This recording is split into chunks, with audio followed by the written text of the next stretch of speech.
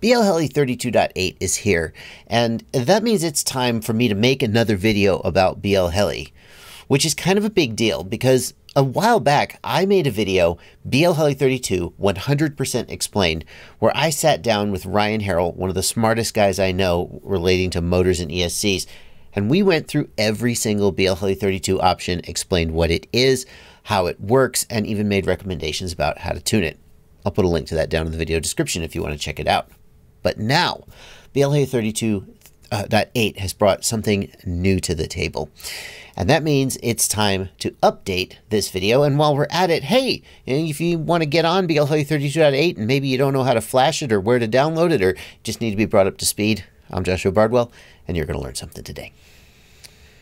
The cool feature that BLHeli 32.8 has brought to the table that I think everybody needs to know about is variable PWM frequency. You're not freaking out. Well, some of you are.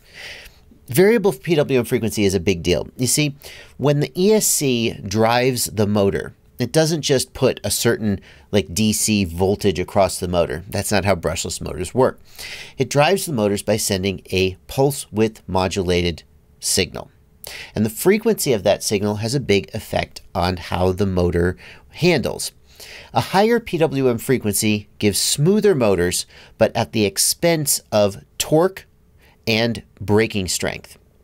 A lower PWM frequency has more torque, especially at low RPMs, and more braking strength, but it's not as smooth. You can get mid throttle oscillations and other problems. And so until now, pilots have had to make a tough decision. Either have stability at low throttle. That's basically what low PWM frequency gives you stability at low throttle and rapid motor response. Or have smooth motors. And, and you couldn't have both. Variable PWM frequency promises to give you both of those things. What, what variable PWM frequency does in BLHeli 32 is when the throttle is low, it uses a low PWM frequency to give you torque and stability when the motors aren't spinning very fast. And as the throttle goes up, it ramps up the PWM frequency so that as you're at mid throttle and high throttle, you get the smoothness of the high. It's basically supposed to be the best of both worlds. So let's dive in. Let's download BLHeli. Let's. I've got a quadcopter here, and I'm going to update it to BLHeli 32.8, and then we'll dive in. We'll take a look at the options, and I'll give you just my general recommendations for how I set up an ESC today. Now I'm going to start by going to the BLHeli32 GitHub page. And the reason I do that is, this is linked in the video description, by the way. The reason I do that is, is it always has the most up-to-date link for BLHeli Suite 32. And BLHeli Suite 32 is the app that you're going to use to flash and configure BLHeli, uh, BLHeli 32 ESCs. Really important distinction here if you have BLHeli S ESCs, you may know that there's a bunch of other apps out there that you can use to configure them. There's JESC, there's Bluejay Configurator, there's BLHeli Configurator, and yes, there's a version of BLHeli Suite for BLHeli S ESCs. That's because BLHeli S was open source, and, and so there's all this other stuff going on with it. If you're running BLHeli 32 ESCs, it is closed source and there are no third-party programs that you can use to configure them. You have to use this one. By the way, if you try to use the BLHeli 32 configurator and it like won't read your ESCs, they they might be BLHeli S ESC. That that won't work either. Now you can see here that there are two links to BLHeli Suite 32. One is this Google Drive and one is this MediaFire link. I prefer the Google Drive link. And in fact, if we go here, I have actually starred this or add to my favorites or add shortcut to drive you can actually add this to your your own google drive and then you, will it'll just show up there you won't have to actually go to the github page we'll just do add to starred and then if i go to starred woo, here they are starred there's my BLHeli suite, and you can always download the latest version there. Um, by the way, notice that this is this here is regular BLHeli suite for BLHeli S ESCs. These are BLHeli Suite 32 for BLHeli 32 ESCs, and I don't have Linux and I don't have Mac OS, so the one I'm going to download is this one, BLHeli Suite 32 32801.zip. That's for Windows. Now, BLHeli Suite doesn't have any Windows configurator or anything like that. You just open the zip file and you put it somewhere on your hard drive. Now, I've got a folder on my OneDrive uh, called RC Utilities. And in there, I've got a folder called BL Heli Suite 32. And what I'm going to do is I'm just going to take the old version out and copy the new version in. So I'm just going to select all by hitting Control A. And actually, in the music folder, I have uh, my startup. I, I, like you can have startup music on BL Heli 32, and I have a particular startup music that I like to use, and I save it there in that music folder. So actually, I'm going to Control A to select all, and then Control click to deselect the music folder, and then I'm going to delete. I'm just going to hit the delete key and delete it all. Then I'm going to come down here and open up the zip file. And I got the zip file here, and I'm just going to click and drag to select all of those things. I'm going to drag them out of that folder over to my BL Heli Suite folder and take them out, unzip them, and boom, that's how you install BL Heli Suite 32. Let's go ahead and run it. The next thing you're going to do in order to make sure everything works correctly is select BL Heli 32 interface and make sure that Betaflight slash CleanFlight interface M is selected. Uh, there are a couple other ways to connect to a BL Heli ESC, but that is the one that basically everybody watching this video is going to use. Then we're going to plug the flight controller into USB. And we're going to take a battery and we're going to plug a battery in because the ESC has to be powered up in order for this to work.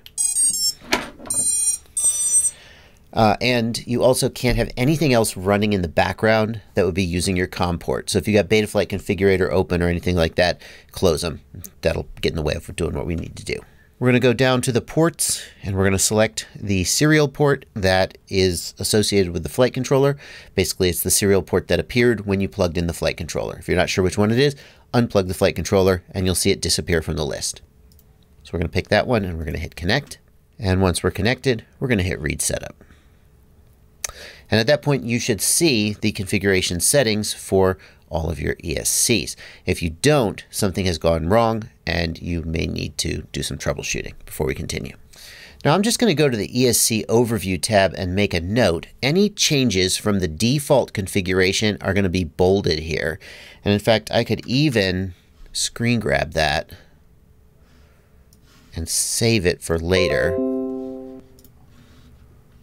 so that I can make sure to preserve my settings. The number one setting I want to preserve is the motor reversed setting so that after I update, my motors will be spinning the right direction.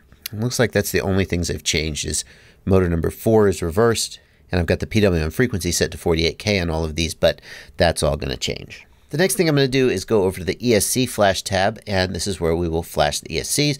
We're going to make sure that all of the ESCs are highlighted, that are checked, and we're going to pull down here and we are going to look for 32.8 is not there.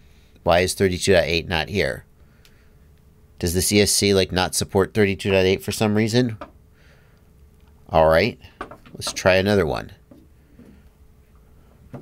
Didn't didn't expect that to happen. Actually, have heard this from some other people saying that I tried to update to 32.8 and it didn't show up for my ES. This is the Hobbywing ESC, uh, and I thought, well, oh, there, it's probably just user error. But clearly I was wrong, because it can't be user error this time. Oh, holy, it's not a Hobbywing. So now we are going to go to the ESC flashing tab. We're going to make sure all four of these are checked. We're going to select 32.8 here. We will enable keep settings, and that should mean we don't have to reconfigure the ESCs from scratch uh, when we go forward and flash selected ESC. That'll take a minute, but it'll flash all four of the ESCs. Make sure your battery's charged up before you do this because if the battery dies in the middle of a flash and the flash fails, it's not good.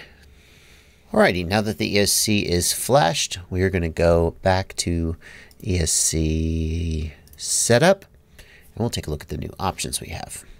And the major new option is that PWM frequency has been changed to PWM frequency low and PWM frequency high. And if you want to disable dynamic PWM frequency, you just set them to the same value, and then that's the only PWM frequency it will use. But what I'm going to recommend you do if only just to try out this new feature and see how it works, is change PWM frequency low as low as it will go for your particular ESC. And in my case, that's 48 kilohertz. And PWM frequency high as high as it will go for your particular ESC. In my case, that's 96 kilohertz. Um, I don't see any way that this could cause catastrophic problems like smoked motors or flyaways, but just in case, be safe when you first do a test hover. Don't just go bonkers on your first flight. Check for hot motors, check for desyncs or any other such problems. But people have been flying with 48K, 96K for a long time, and generally it can affect performance, but it doesn't cause any catastrophic problems.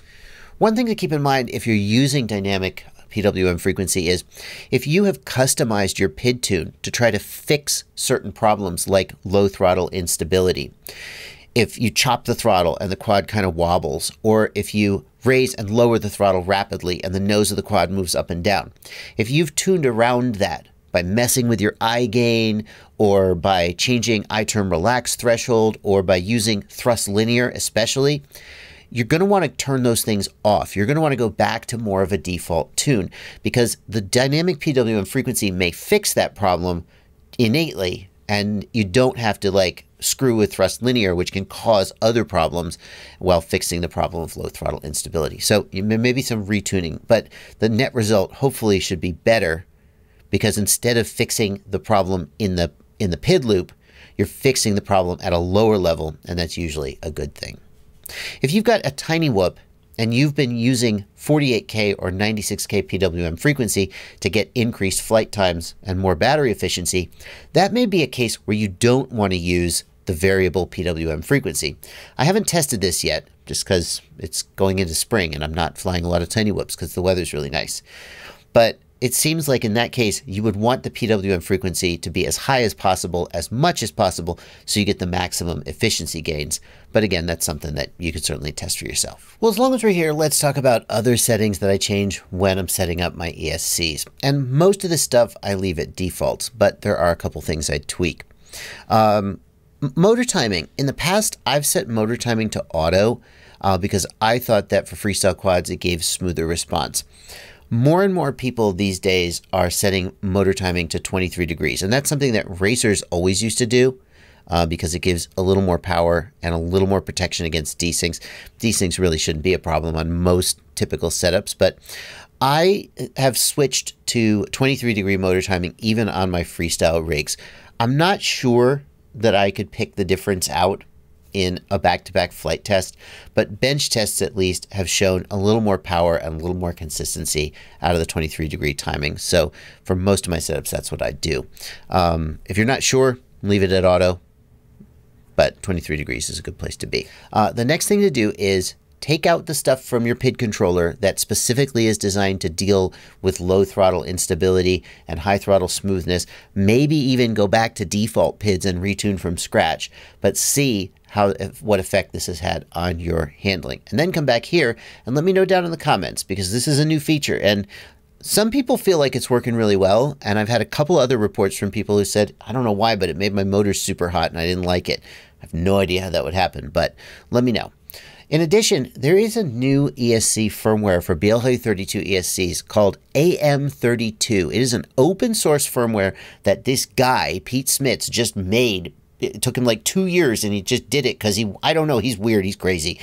But AM32 is out there and they have a different way of doing dynamic PWM frequency. A little different than how BLHeli 32 does it. I'll put a link to the interview with Pete down in the video description. Had a cool interview with him talking about his firmware, and uh, you may be interested in that. Thanks for watching. Happy flying. Do you see this baby? Isn't he cute? Hit the subscribe button. Join my Patreon. Use my affiliate links. Or just keep watching videos. That's better than nothing.